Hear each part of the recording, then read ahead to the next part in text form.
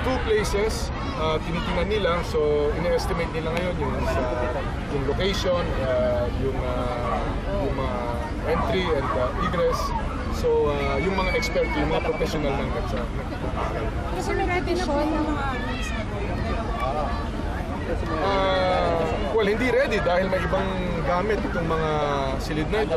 Uh, magiging uh, dito muna, eh, pansamantalang sagot o tugon sa utos ng uh, sa korte. May deadline po ba para matapos yung validation ng threats kasi napaka-importante ito sa pagka-transport na kay uh, Napoles kapag nagsimula nito? Hindi, patuloy naman lang yan. Hindi, hindi, hindi matatapos yan uh, sa, sa madaling panahon.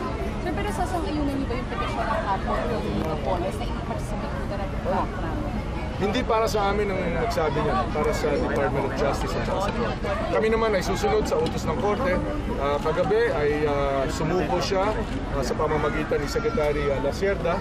Ah, nakasama din dito para personal din niyang masabi sa abogado ni ah, Ms. Napoles kung ano yung nakita niya dito. Ah, at ah, magmula noon ay ah, sabi nga kaninang umaga ayon sa nakatakdang mga proseso ay i- ni-return, no? ibinalik yung warrant sa korte. Uh, nag-report, dinala doon yung ah, fingerprints, dinala doon yung mugshots, uh, dinala doon yung report ah, sa sa pag ah, take into custody ni Ms. Napoles at ah, nung ah, dumating nga yung sheriff alas 4 ay ah, ganun din no Ah, susunod tayo ah, at ah, sinisiguro nga natin yung kaligtasan habang sumusunod tayo sa tugon ng korte. Thank you very much. Thank you.